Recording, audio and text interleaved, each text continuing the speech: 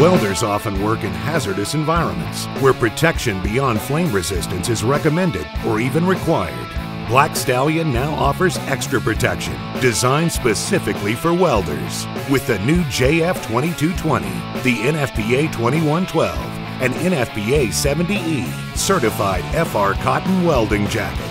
The JF2220 is constructed of durable 9 ounce flame resistant treated cotton.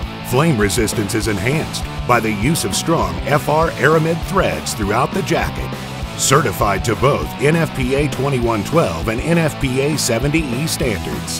The JF2220 jacket is designed for welders who may be subjected to short duration thermal exposures from fire and arc flash hazards, typically associated with oil and gas, utility, and industrial applications. Six front snaps on the jacket offer a secure fit with minimal gapping. These buttons are covered with a layer of FR cotton to eliminate conduction of electricity in the event of an arc flash incident. All of these front snaps are reinforced with a leather backing to reduce the risk of tearing and eliminate pull-through. The stand-up welder's collar helps protect your neck from sparks and debris, and the convenient scribe pocket holds a pencil, small tool, or other small item.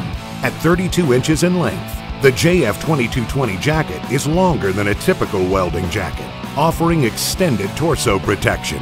When extra protection is needed while welding, you need the new JF2220, NFPA 2112, and NFPA 70E certified FR cotton welding jacket from Black Stallion. Order today